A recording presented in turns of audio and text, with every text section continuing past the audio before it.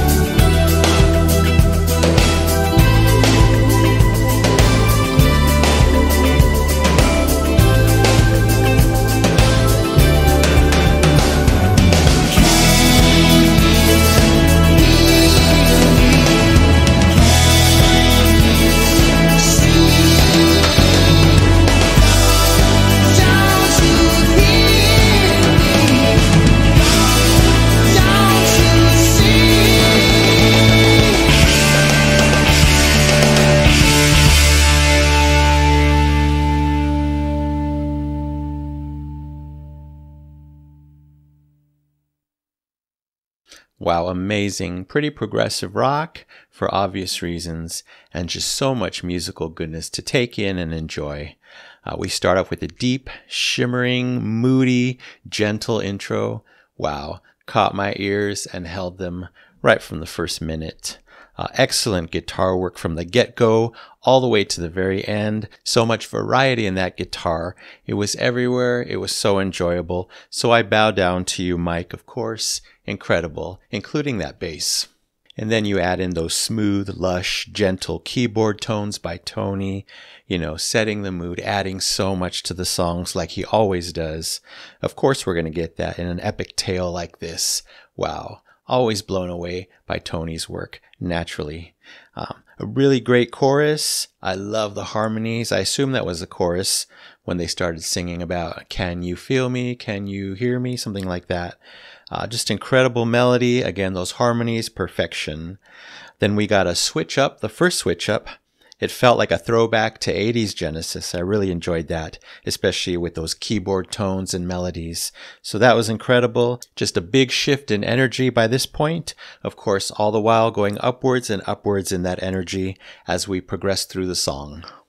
This one was overflowing with some great drum fills by Phil, of course, and also lots of great subtle percussion going on, peppered in throughout the song. Again, adding so much. They know how to craft a song perfectly.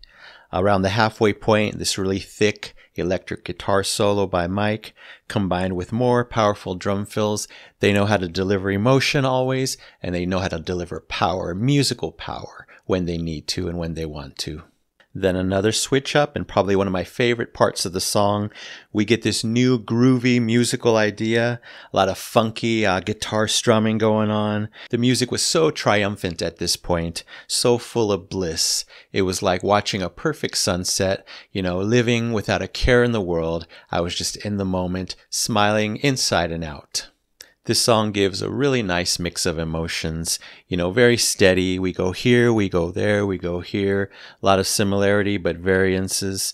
Uh, no big jumps in emotions, and that made for a great, pleasurable experience. Um, the song also builds so well. It has time to at over 10 minutes. Uh, that 10 minutes flew by, but I'm glad it lasted that long because they were able to give us so much and build our emotions so much. And by the end section, pure exuberance in the music. Uh, Phil was singing with so much passion. I loved it. I really zoned in on his voice, the way he was delivering.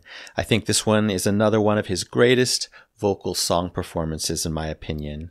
Uh, just feel good music in the best way possible for me. And I'm so glad that they ended the song with a Can You Feel Me section. Just a strong and such a beautiful part of the song. That's how they send me off. Wow, amazing song. It's as good as some of you told me it would be.